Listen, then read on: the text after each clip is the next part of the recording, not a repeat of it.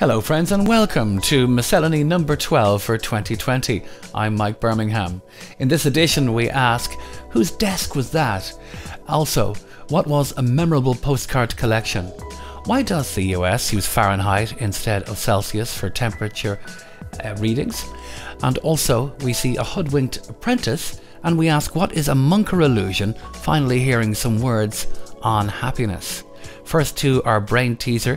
It cannot be seen, it cannot be felt, it cannot be heard, cannot be smelt. It lies behind stars and under hills, and it fills in empty holes. What is it?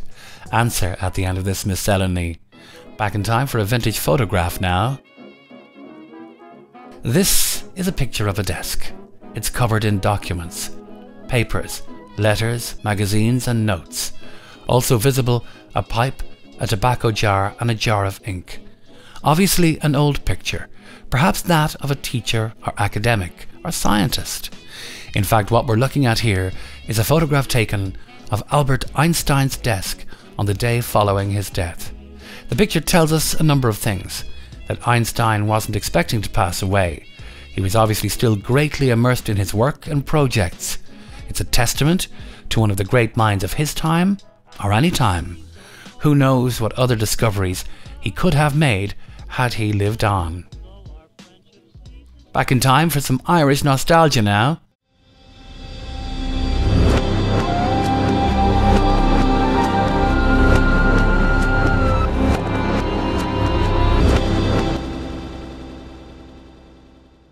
Older viewers may remember a time when postcards were regularly sent home when you were on holiday.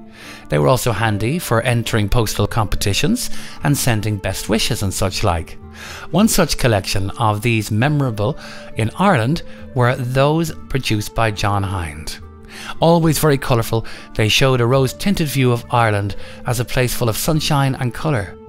John was born in Somerset in England, settling in Dublin in the 1950s, where he founded his company to produce and distribute his colour pictures of Ireland. His method was blending Irish stereotypes like donkeys and red-headed children and all of that with the lush, seemingly endless, beautiful landscape and bright colours. The series of photographs was a huge success, not only with tourists but with Irish people also. Hinde would sometimes enhance the colours in his studio to get the desired effect. Some events from this week back in time include December 7th, 521 AD, birth of St. Columcille, Irish bard and monk honoured in all Celtic lands, also known as Columba, the monk who became the most important Scottish saint of his era, founding a monastery in Iona in 536 AD. December 8th, death of James Hoban, the Kilkenny architect who designed the White House. 1881, birth in Longford of Padraig Colum, playwright, poet, and novelist. 1939, the birth of Belfast flute player Sir James Galway. 1945, John Banville, the novelist, was born in Wexford. December 10th, 1960, Kenneth Branagh, actor director, was born in Belfast. December 12th, 1920, the birth of Christy Ring in Cloyne, County Cork. His 24 year career record earned him a reputation as the greatest hurler of all time. 1966, the birth of Sinead O'Connor.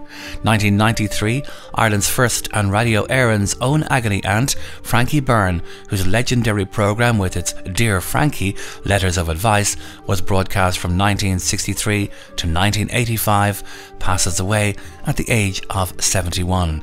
And December 15, 1930, Edna O'Brien, novelist and short story writer, is born.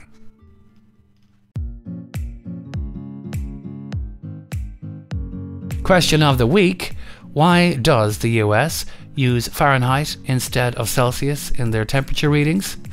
Virtually every other country in the rest of the world uses the Celsius temperature scale, part of the metric system, which denotes the temperature at which water freezes at 0 degrees and the temperature that it boils at is 100 degrees. But the US and a few other holdouts, the Cayman Islands, the Bahamas, Belize, and Palau, they're still on the Fahrenheit scale in which water freezes at 32 degrees and boils at 212 degrees. So, shorts and t shirts weather for us would be around 21 degrees Celsius, and for the Fahrenheit equivalent, you're looking at 70 degrees. Now, Fahrenheit was created by uh, his namesake, a German scientist, Daniel Fahrenheit, who in the early 1700s was the first man to design alcohol and mercury thermometers. And they were both precise and consistent, two very important things. His great mechanical skill was in working with glass, you see, and that helped him to carry out his designs. System sounded pretty good to officials in the British Empire. They adopted Fahrenheit as their standard temperature scale, which is how it became established in the American colonies of the time. Meanwhile, though, in 1742, uh, a Swedish astronomer named Anders Celsius came up with a less unwieldy system based on multiples of 10. So the neat 100 degree symmetry of the Celsius scale made it a natural fit for the metric system, which was formally developed by the French in the late 1700s. But the English speaking world nevertheless clung on stubbornly to its preference for awkward units, uh, the imperial scale, pounds and inches and so forth, Fahrenheit going along with all this. But finally, in 1961, the UK Met Office switched to using Celsius to describe temperatures in their weather forecasts in order to be consistent with most other European countries. Most of the rest of the world followed suit, but still, the exception is the US and some other countries as well. Now, in the Don't Try This at Home department, this is crazy. I know we all like things to be aesthetically pleasing, but this is someone attempting a flat screen TV in the days before flat screen TVs in their house, with the back of the TV obviously sticking outside the rear of the building. Uh, the only problem with this is I wouldn't fancy trying to plug that TV or switch it on after its chassis has been sticking out in the cold weather, rainy weather, frosty weather, whatever weather. Overnight, you uh, might just hear a boom, or something like that. Now, apprentices are often hoodwinked on their first days on the job. It's not a new phenomenon. I remember a story told to me of one such individual working in a hotel in Galway who was asked to go over to the nearby Garda station and ask for a long wait. The Garda on duty was a little amused by this and he said, uh, Look, have a sit down and I'll go and see how we got one of those. Left him there for an hour, came back and said, I think you've had enough of a long wait. You'd better go back to the hotel and to work. In any event, here's another up to date example of this apprentice who is quite literally asked to collect the sparks.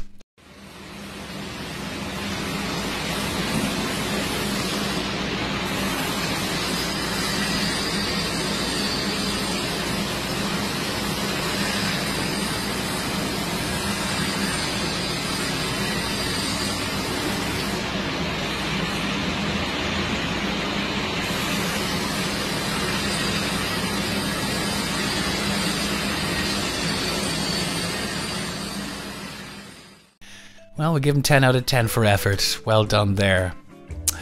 Now, radio memories as we go back 30 years, a short comedy sketch I developed called the Mini Theatre. This one features a colleague of mine, Dermot Layden, ordering a taxi from moi. Presenting another Mini Theatre.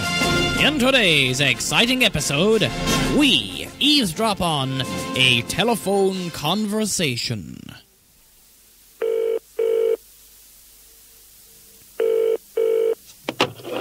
I'm coming, I'm coming. Hello! H- hello, hello. Is, is that the taxi man? Ah, it is. It's taxi man here. I, I good. I, I need a taxi, and I need it in a hurry. Uh, I've got. I, I, you do taxis, don't you? Uh, we do. We've lots of taxis, surely. Well, we, you want a taxi round there, do you? I, I tell you, I have to get to the, the station for the 10 o'clock train. Uh, I will sure, sir. We'll get an old taxi round to you there as, as quick as we can. But uh, don't worry at all there, because that old train is always late. I tell you, it'll be late today anyway, because I'm the train driver. well, bless us and save us. You've been listening to another mini theater. Tune in next time, same time, same station.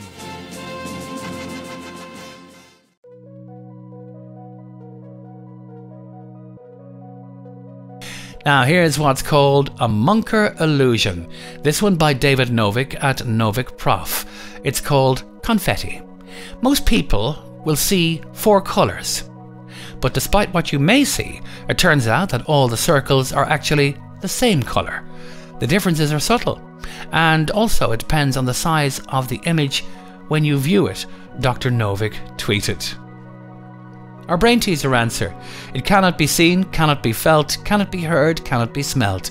It lies behind stars and other hills and fills in empty holes. What is it? Did you get it?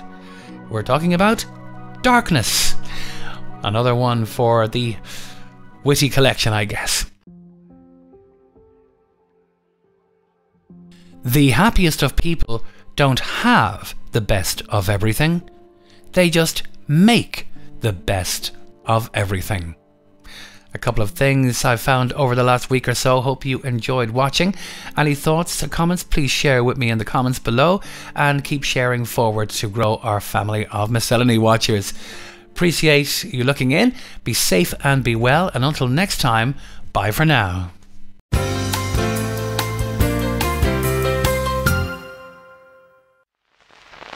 From the home studio of Michael Bermingham.